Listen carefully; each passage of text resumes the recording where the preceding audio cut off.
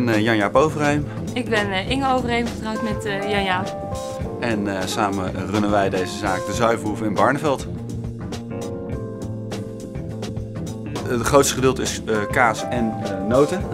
dat is wel de hoofdmoot van de winkel. Daarnaast hebben we ook tapas, maar ook chocolades.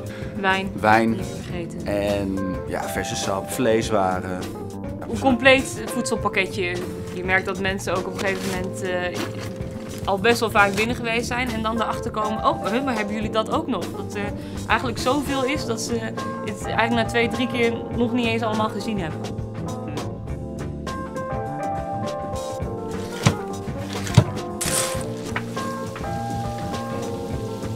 Eh, hetgene wat uh, deze zaak zo goed maakt is de laagdrempeligheid. We proberen alles te laten proeven wat de mensen willen, zodat ze uh, de totale beleving kunnen krijgen.